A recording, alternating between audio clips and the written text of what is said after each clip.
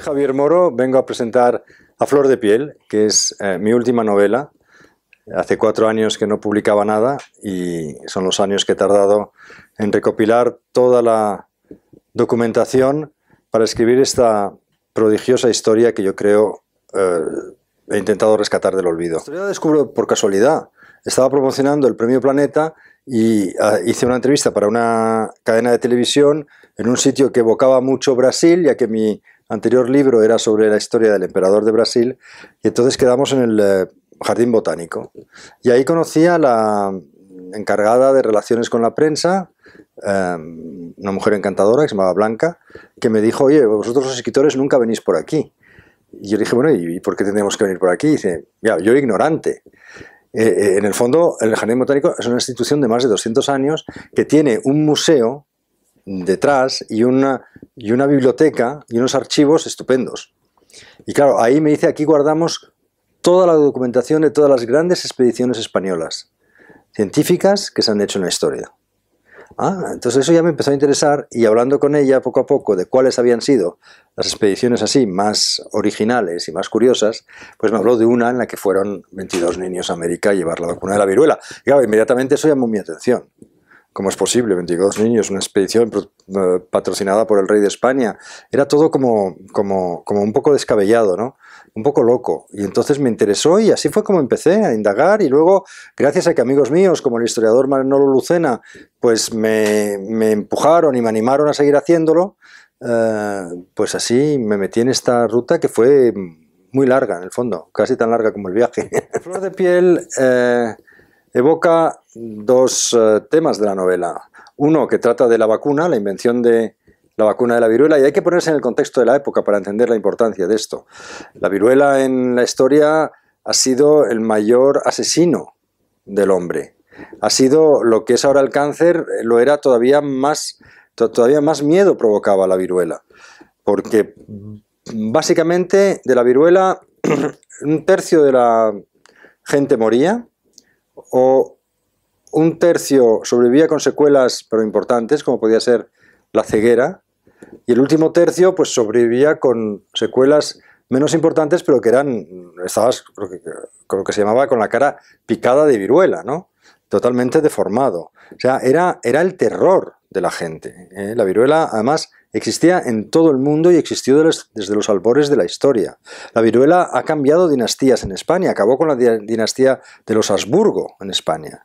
Era, era como te digo, el terror. Y de, pronto un, médico inglés hace una observación muy genial y descubre que las chicas que ordeñan las vacas en su pueblo de Inglaterra nunca atrapan la viruela. Entonces él piensa que hay un agente en las vacas que protege eh, de la viruela humana. Y entonces empieza a hacer sus experimentos y vacuna con suero de vacas a un niño que era el hijo de su jardinero que resulta inmunizado contra la viruela humana. Y total, para haceros la historia corta, descubre que el virus de la viruela de las vacas inmuniza contra la viruela humana que es letal.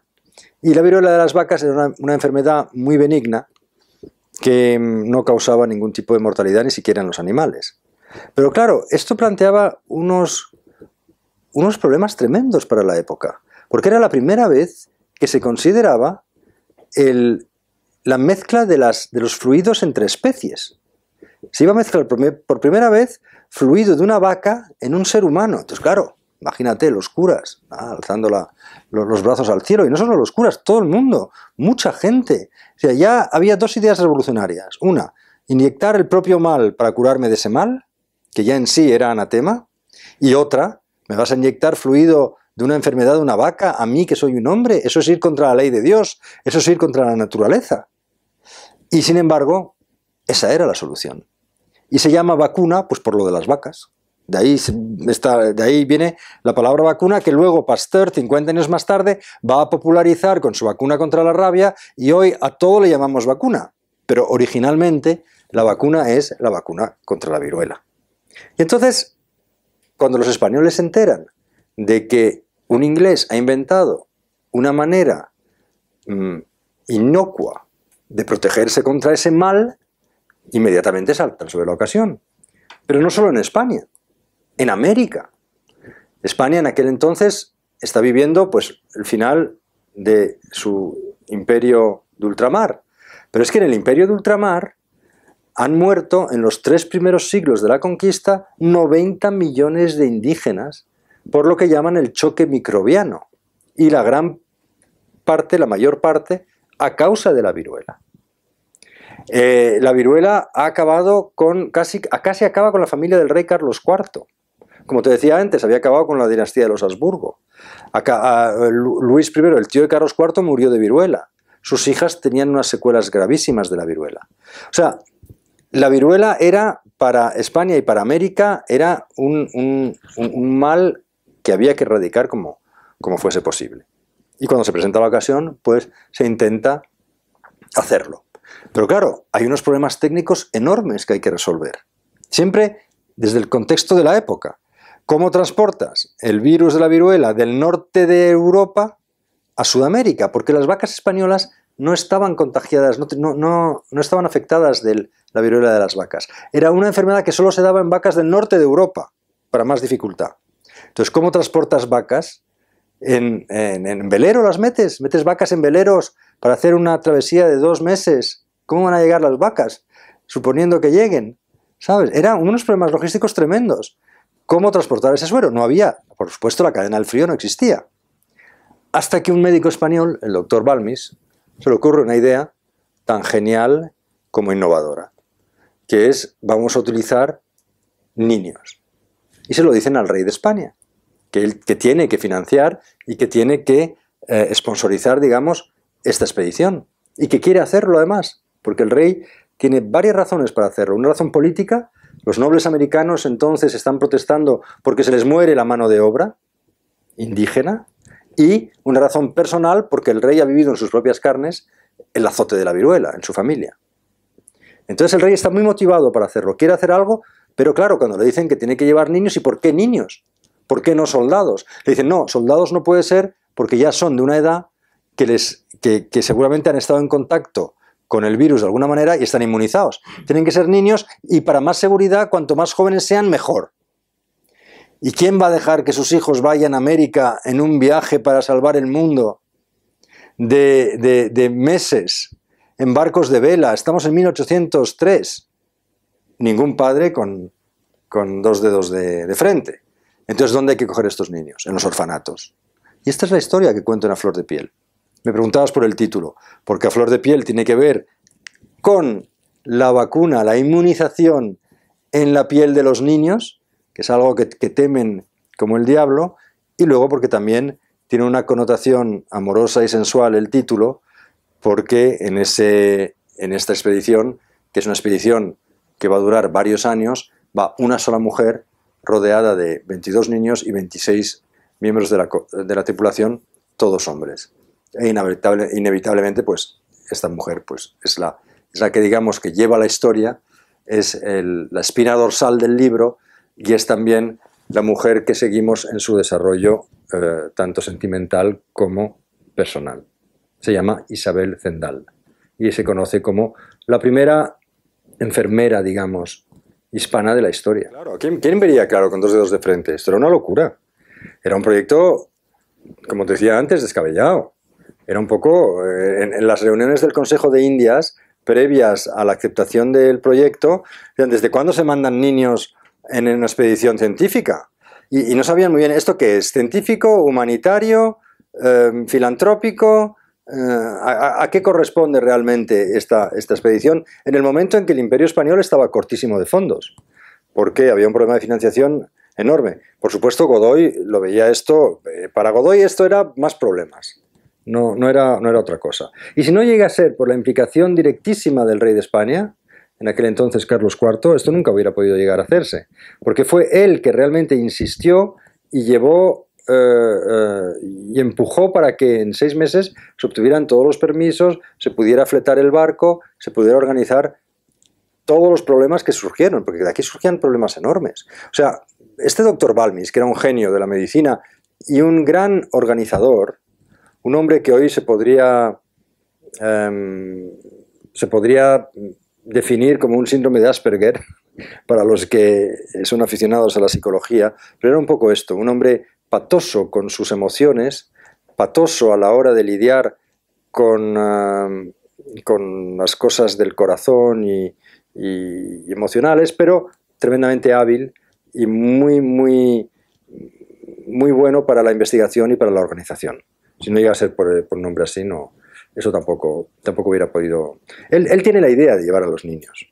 Él se dice, si inoculo el virus a un niño, va a tardar ocho días el niño en reaccionar. Una vez que reacciona, al niño se le va a formar una pequeña pústula, un granito, con pus, que es la, viruela, que se le ha inyectado. Entonces, esto lo extraigo y luego se lo meto a otro niño. Hemos ganado una semana. Luego, este niño está inmunizado ya para toda la vida. Ya, no sirve a los propósitos de la expedición. Habrá que cargar con él y disponer de él de la mejor manera posible en América, pero nos ha servido para ganar ocho días. Y por esto es graciosísimo, porque también es curiosísimo, en esta expedición siempre están buscando niños.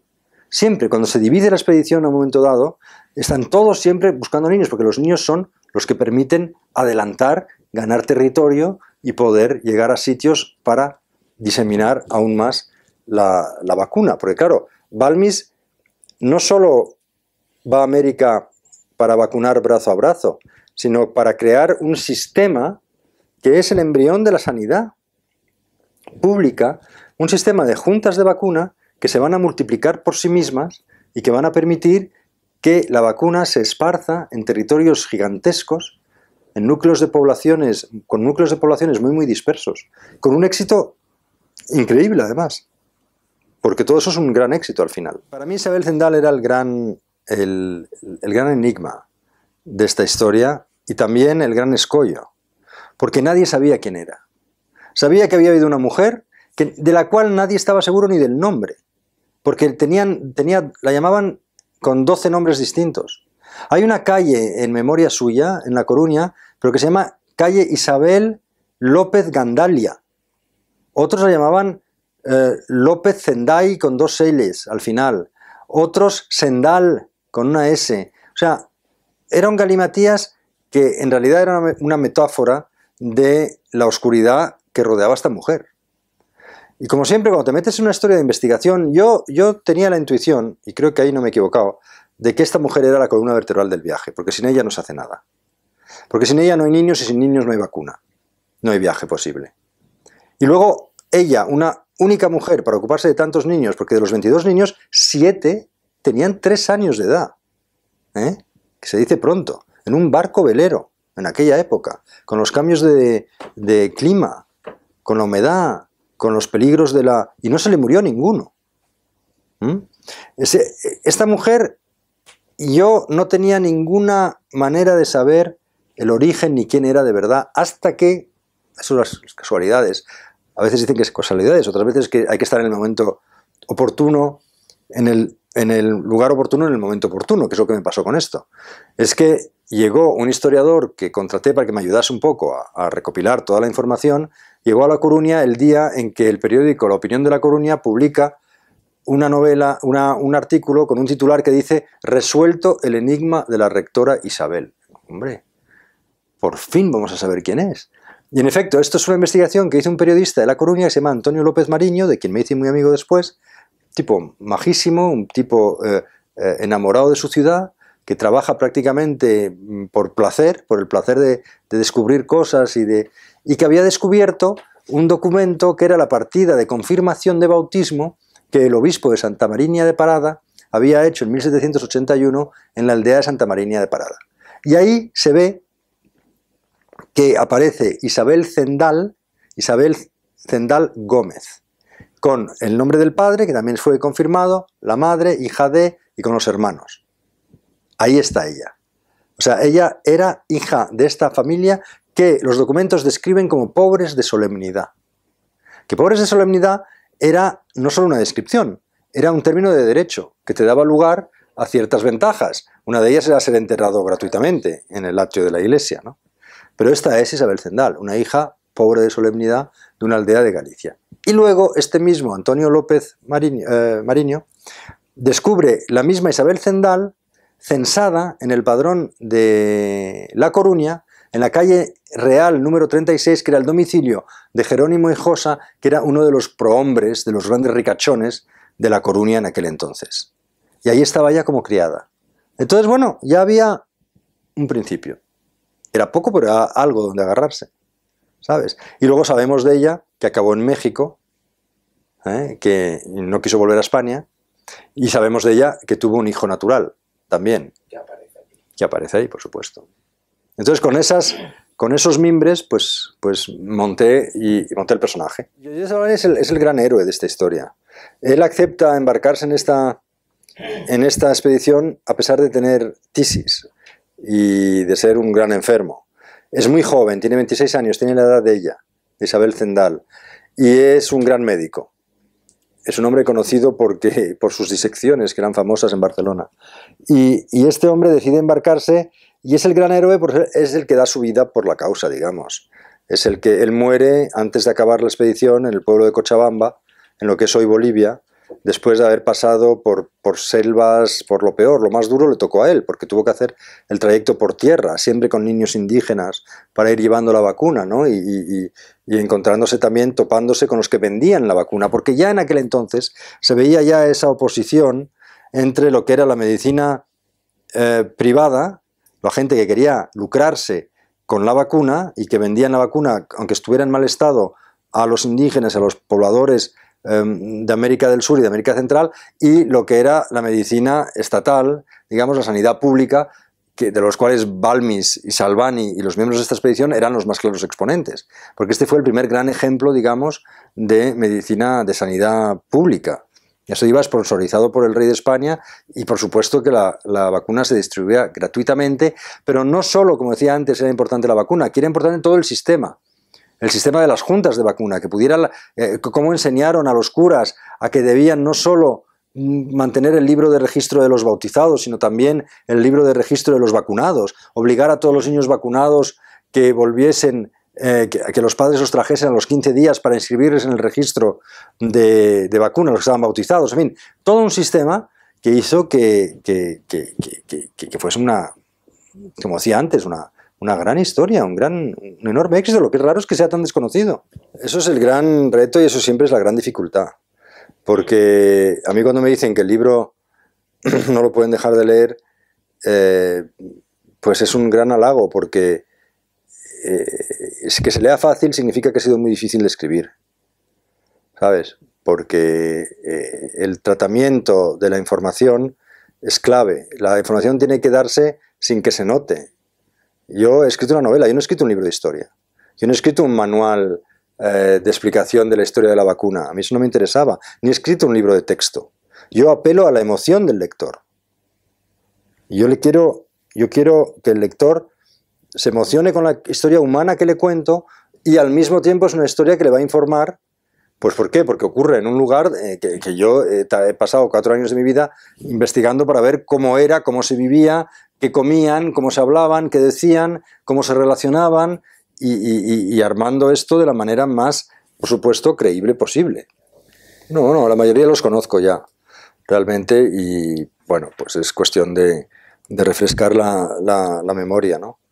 Eh, yo he viajado mucho por América Latina y por Asia también, y entonces, pues, en el fondo, esos viajes, uno se pregunta siempre cuando está viajando que a lo mejor eso no sirve para nada, pero luego, mira, salen salen y los aprovechas en, trabajos futuros. ¿no? Eh, muchos viajes los que había hecho por México y por Latinoamérica, pues que habían sido viajes de placer y yo no sabía que iban a reflejarse luego en esta novela. Por eso es importante seguir viajando. Por eso pienso seguir viajando, porque nunca sé cómo se van, cómo luego, dónde van a salir, ¿no? Esos viajes y esas experiencias también, porque lo mismo podría decir de las experiencias humanas que, que, traslucen en, en la novela, ¿no?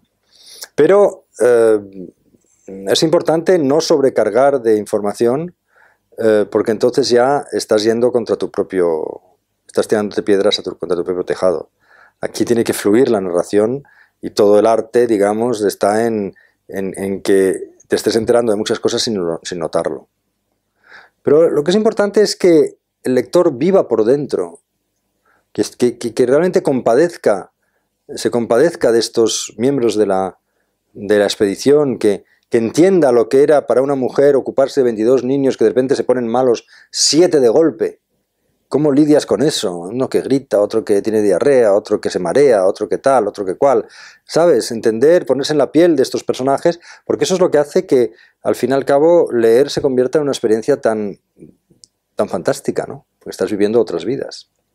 Estás viviendo no solo la tuya, sino la de los personajes que estás, sobre los que estás leyendo.